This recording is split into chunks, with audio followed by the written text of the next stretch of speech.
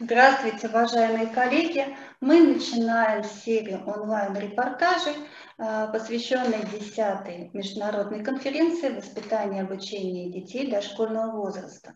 На наших, в наших репортажах мы будем рассказывать э, вам э, о секциях, и в том числе мы будем приглашать руководителей секции, чтобы они вам рассказали поподробнее, о чем же будет в данных секциях. И а, сегодня а, мы пригласили а, к нам руководителя секции медиаобразования в дошкольном образовании э, Ирина Ильинична Комарова. Ирина Ильинична Комарова является проректором научной деятельности Международной педагогической академии дошкольного образования. Также она э, заместитель заведующая Э, кафедры ЮНЕСКО, и она э, является главным редактором информационной среды методической поддержки дошкольного образования «Виртуальный детский сад». Ирина Ильинична, здравствуйте. Мне хотелось бы вам задать такой вопрос. Медиаобразование в дошкольном учреждение, организация, насколько это важно. А, нужно ли детям э, так рано сталкиваться с медиаобразованием? И э, вообще актуальности данной темы и насколько она необходима в наше время? А, ну, мне представляется, что тема архиважная. Недаром а, она сегодня присутствует в списке других тем, потому что это впервые на этой конференции поставлена эта тема медиаобразования. Впервые я имею в виду не вообще в истории этой темы, а именно впервые в истории э, нашей конференции. А, тема важна уже а, по той простой причине, а, что очень часто медиаобразование путают с цифровизацией. То есть эм, медиаобразование – это э, процесс развития личности – а, с помощью и на материалах средств а, массовой коммуникации, с использованием медиа, с использованием а, различных технологий. И мы понимаем, что обеспечение безопасности, обеспечение знаний о том, как использовать все эти процессы для развития личности, и заключается содержание медиаобразования. То есть на самом деле, чем раньше мы будем вводить медиаобразование а, в понятие дошкольного образования, тем лучше. Это не значит, что а, если мы говорим о медиаобразовании, мы стремимся насытить каждую группу детского сада а, экранами. Экран вреден для детей и особенно вреден для детей от 0 до 3, от 3 до 5 он тоже не сильно э, э, помогает, да, и э, в любом случае, когда бы мы не сели за экран, он в любом случае влияет на развитие мозга.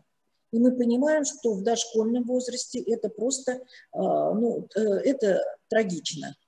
То есть не побоюсь этого слова.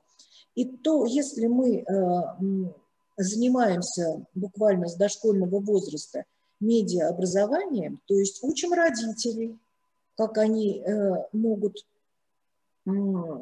ребенка э, в каком количестве допускать к экрану, как родитель должен себя вести для того, чтобы снизить количество часов, чем он должен занять ребенка для того, чтобы гаджет э, не сидел у него в голове, только гаджет, да, а, эти же знания необходимы воспитателю, то есть э, как, э, что должен делать воспитатель, то есть образование того, как мы а, максимально безопасно можем использовать современные технологии, вот это является содержанием а, нашего, э, нашей секции.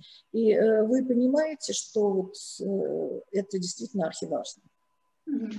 А скажите, пожалуйста, а насколько это помогает вот, медиаобразование воспитателям, педагогам, дошкольной организации эм, проводить занятия в работе, насколько это им помогает?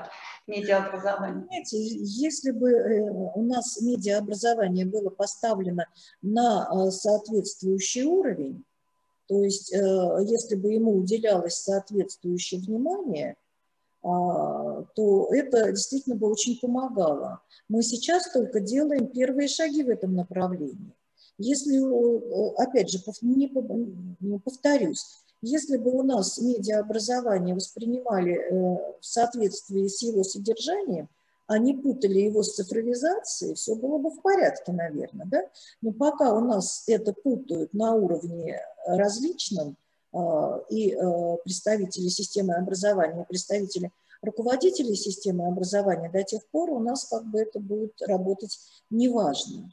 А, и э, когда у нас наконец поймут, для, что э, экран вреден, когда у нас не будут в школах ставить или, э, ну, потому что в основном в школах это идет в массовом объеме, закупаться вот это вот эм, оборудование экранное по, как наиболее дешевое. Мы понимаем, что если наиболее дешевый компьютер, то там и экран наименее пригодные для ребенка.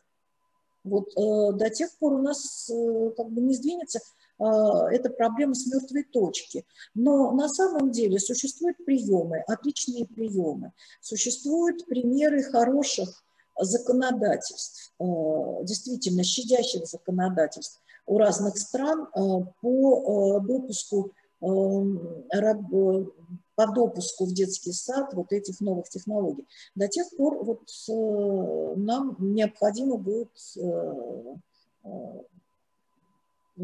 как бы все снова и снова поднимать эту тему. Спасибо большое, Ирина Ильинична. А, с нами была руководитель секции медиаобразования в детском саду ну а мы с вами прощаемся. До новых встреч и ждем вас на нашей конференции. До свидания. Спасибо.